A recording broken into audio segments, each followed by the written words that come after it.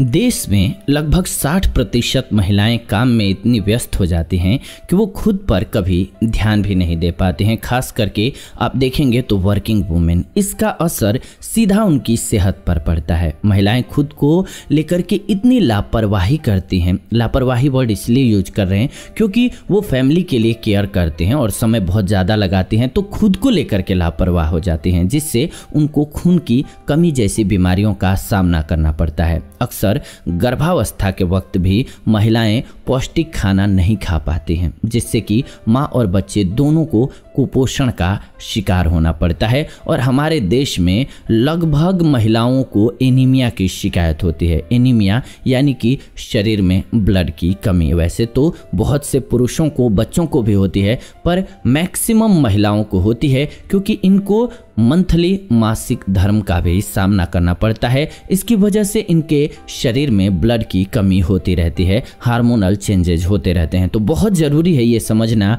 कि किन चीज़ों का सेवन करें ताकि हमारे शरीर में ब्लड की कमी ना हो और एनीमिया की शिकायत जड़ से समाप्त हो जाए। तो इस वीडियो में अंत तक बने रहिए पूर्णतः इसी बारे में हम बताने जा रहे हैं कि किन किन चीज़ों का सेवन करेंगे तो आपके शरीर में कभी भी ब्लड की कमी नहीं होगी। नमस्कार दोस्तों, स्वागत है आप सभी के अपने इस यूट्यूब चैनल जीवन जीने की कला में। प्लीज़ आप सभी वीडियो को लाइक, शेयर और कमेंट कर दें ताकि अन्य लोगों तक वीडियो पहुँच सके, हमें बहुत खुशी होगी। सबसे पहले जो चीज़ का आपको सेवन करना है, वो है पालक। जी हाँ पालक की साग माताओं बहनों को ज़रूर खाना चाहिए। पालक में calcium vitamin A vitamin B nine vitamin E vitamin C iron fibre, beta carotene, ये सभी पाए जाते हैं, जो कि शरीर को स्वस्थ रखने के लिए बहुत ज़रूरी है। और इसमें से जो आयरन की हमने बात की, ये सबसे इम्पोर्टेंट है अगर एनीमिया की किसी को शिकायत है। तो एनीमिया की शिकायत को दूर करने के लिए ये मस्ट इंपॉर्टेंट है कि आपके शरीर में आयरन की आपूर्ति होती रहे। और इसके लिए पालक बहुत अच्छा स्रोत है, ये आँखों की भी केयर करता है। तो माताओं बहनों को खास करके बहुत ज़रूरी रूप से पालक का सेवन करना चाहिए। और आपको खाना बनाना होता है, बोल दीजिए घर में कि, भाई, पालक एक दिन, नहीं, दो दिन, सप्ताह में बनेगा ही बनेगा। फैमिली में सभी को खाना चाहिए एक्चुअली सभी के लिए फ़ायदेमंद है। बूढ़े, बच्चे, जवान, सभी के लिए, पुरुष, स्त्री, सबके लिए। लेकिन माताओं, बहनों को बहुत ज़रूरी हो जाता है। इसके अलावा सोयाबीन। जी हाँ आयरन और प्रोटीन से ये भरपूर होता है। और साथ ही साथ, लाल रक्त कोशिकाओं का निर्माण करने में शरीर में मदद करता है। तो ये सभी चीज़ें एक बच्चे के लिए भी बहुत ज़रूरी है और बुज़ुर्ग के लिए भी बहुत ज़रूरी है और ख़ास करके माताओं बहनों के लिए बहुत ज़रूरी है। तो सोयाबीन, पालक दो चीज़ें हो गई। इसके अलावा लाल रंग का चुकंदर। जी हाँ ये आयरन से भरपूर होता है। यह आपके लाल रक्त कोशिकाओं को ठीक करने के साथ ही और दोबारा सक्रिय बनाता है। हम आपको कुछ एक चीज़ें और बताते जा रहे हैं।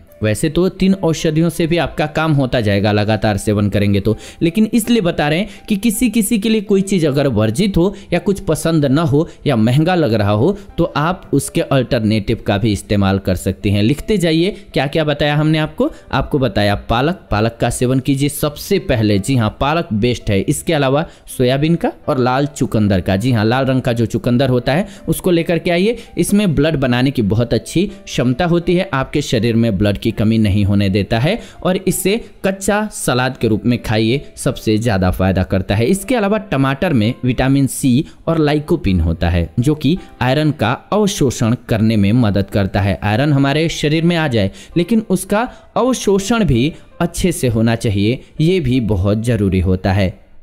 तो इसमें बहुत मदद करता है टमाटर। तो टमाटर का सेवन ज़रूर कीजिए। टमाटर का सेवन भी इसमें फ़ायदेमंद होता है। इसके अलावा आप गुड़ का सेवन कीजिए। जी हाँ गुड़ में भी आयरन की भरपूर मात्रा पाई जाती है और जिन माताओं बहनों को ज़्यादा ब्लड की कमी की समस्या रहती है, डॉक्टर से आपने चेक भी कराया है तो वो लोहे की कढ़ाई में खाना बनाएँ। जी हाँ लोहे की कढ़ाई में खाना बनाना आपके लिए ज़्यादा श्रेयस्कर रहेगा, लाभकारी रहेगा। एनीमिया की कितनी भी पुरानी समस्या हो, आपको होगी नहीं। और हमारे भारत की महिलाओं को देखा जाए तो कभी न कभी इस बीमारी से दो चार होना ही पड़ता है, क्योंकि हमने बताया आपको कि मासिक धर्म की वजह से उनको प्रॉब्लम होती रहती है। तो ये बेस्ट तरीका है कि आप अपने मासिक चक्र को भी फिट कर पाएँगे। उसके लिए तो आप अशोक की पत्तियों का चाय पिया कीजिए। जब भी चाय पीना हो तो आप अशोक की पत्तियाँ घर पर ला लीजिए और उसकी चाय पिया कीजिए। आपको महावरी से रिलेटेड, रसौली से रिलेटेड जितनी भी प्रॉब्लम्स हैं, उसमें राहत मिल जाएगी।